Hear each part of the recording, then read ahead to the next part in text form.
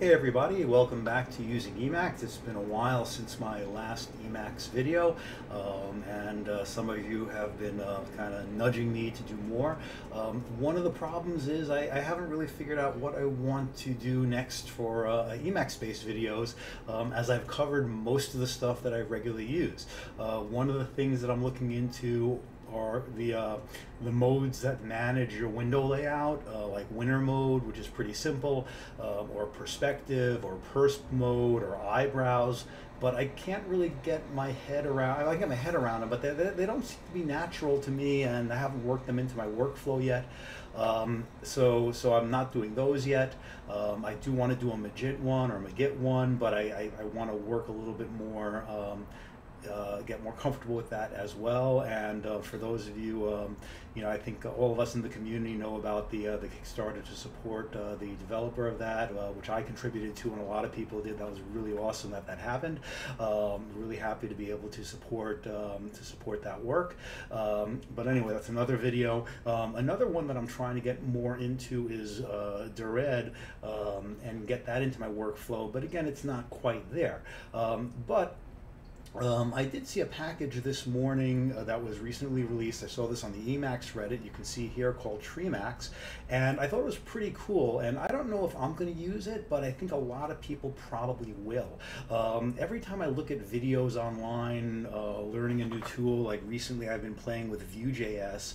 Um, whenever you know, usually the editor they use will be either Sublime Text or Atom. That seems to be the most common, um, and they always have um, this nice little file chooser down the side and uh, is something that basically sets that up. Um, and it, it's kind of like making Emacs look like those other browsers or work like those other browsers and that's not I probably won't use it um, because um, again I've been using Emacs without that for so long but it is pretty nifty. It's a pretty cool package. I want to show it to you in a second.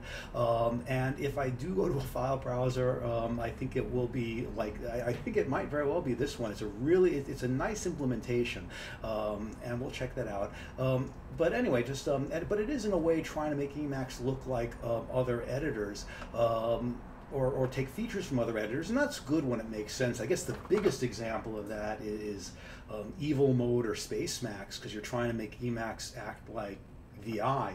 Um, I, I, guess maybe that's a little bit different because it's a um, uh, because it's the whole modal thing. Or another great example is multiple cursors, which is a really cool package, but I, I don't find myself using it that much because I, I, use macros and iEdit mode to a similar effect without the multiple cursors. Um, or another one is the tab bar. Um, I, I, don't have it normally installed, but I use try to set that up. Uh, so tab bar mode, you know, you have, um, it's a little smaller. Let's see you know, so I can go, you know, it brings up a tab bar of your tabs. Um, if you're comfortable with buffers, you know, I just rather use um, iBuffer uh, for my selections and I have it set up a little bit. And uh, so let me turn off tab bar. But what I really wanted to talk about here is this Treemacs mode. And so um, here's the here's the GitHub page, and here's a little uh, you know a little view of it. Um, and for installation, I haven't even played with this much. Installation, I just really I just copy the, the installation here. Uh, the only thing I did is since I don't have Spacemacs and I therefore don't have a Spacemacs default map, I took this out of my configuration uh, because it didn't work, because it didn't have a map. It said it couldn't find the map. But I'm still working on the keys. But here's the basic use. Let's, let's say I'm in here and I want to get this file bar.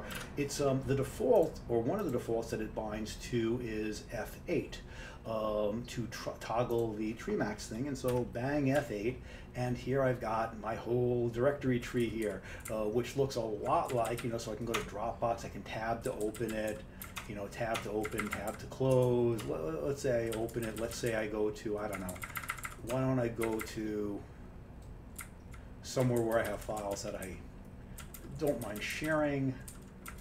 I mean, here I'm assuming yeah, I can just use all the Emacs features. Like I can use, um, I just search for GH, uh, where I keep my GitHub stuff, and I can just search for that and uh, use all the power of Emacs. I don't have to use my mouse. You know, again, search GH, bang on there, open it up. Um, I'm just using, don't know what happened there. Let's go back to here, open that up. I closed it, open it up. Um, why don't we, yeah, it looks a little buggy still, but still, let's keep persisting. Uh,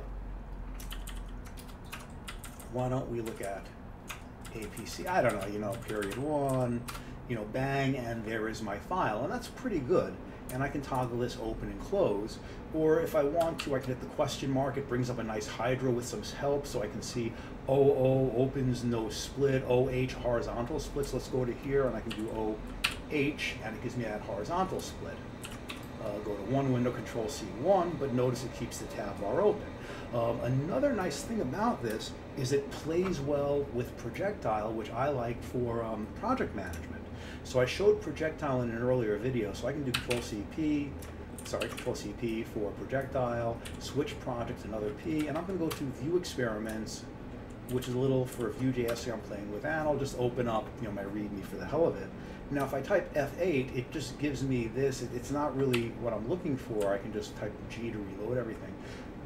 But instead, and this isn't down to a key yet, if I type in, if I load Treemacs, it's not perspective, projectile, Treemacs projectile toggle, no, it's not working. Ah, space Mac default, um, default is not found. Why is that? I thought I took that out. Let's go to my configuration. Maybe I just didn't reload this. Uh, let's look at Treemacs. Did I take this out? Global map. Okay, that looks good. Let's um, let's run this again. Treemacs projectile. Maybe I'll just have to reload this. Let me see if I can do this quickly. If not, I will do it again. Let me let me just kill Emacs. Let me load it back up.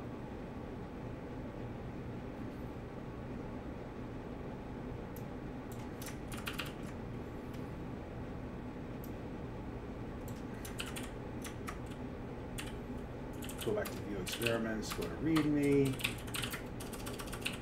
Treemacs projectile. Weird, okay. So I'm going to stop this video and see if I can fix it, and then we will continue. Okay, starting this up again. Uh, let me go to my configuration file. What I actually did, sorry, is um, I took out, I actually don't have it here anymore, um, I took out the map for Spacemacs up here for um, use package.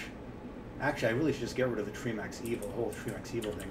Um, but I, um, I left in the global map, but then here under Treemacs projectile, I didn't take out the, um, the map for the Spacemacs map there. Uh, so I will clean this up later on. But anyway, back to this um, projectile project. I can do CP find file, and I'm in projectile and all that. Um, but now I can do Treemacs projectile, and notice that I'm now in Treemacs, but it's limited by projectile. It's just within this project, which is really nice. I haven't bound this to a key yet, but it does, um, you know, it just gives me this ability, and I can open these files. I say I want to open um, main.js, and I can do a vertical split, you know, I can uh, go there, you know, I can go back to here, whatever I want. So it's a really, really nice look at, you know, it, it's really slick. We've got, you know, uh, the JS files are showing this, you know, git ignore, notice this, you know, the little icons here, HTML, HTML5 over here, JSON data here. So it's a really nice package. Um, it did seem a little quirky when I showed before that going, um, going into the directories, but, but it is brand new but uh, I encourage you to check it out. Um, again, I don't know if I'm going to use this. Uh, one thing I don't like is it doesn't respond to these, the click there, you have to kind of click it here, um, you know, like that type of thing. You know, that does not open app.vue. Let's see if we do it here. It doesn't. Yes, that doesn't. Um, and if I were to use this type of thing, I'd probably use the mouse. Um, again, I'm, I'm really just, you know, I'm going to use things like, uh, you know, uh, you know, switch buffers using um, projectile, stuff like that, or I might use projectile iBuffer. But again, really nice package, um, makes it look a lot more like Atom or Sublime that does this. Uh, I encourage you to check it out and uh, see if it works for you. And that's it for this time, okay? Bye-bye.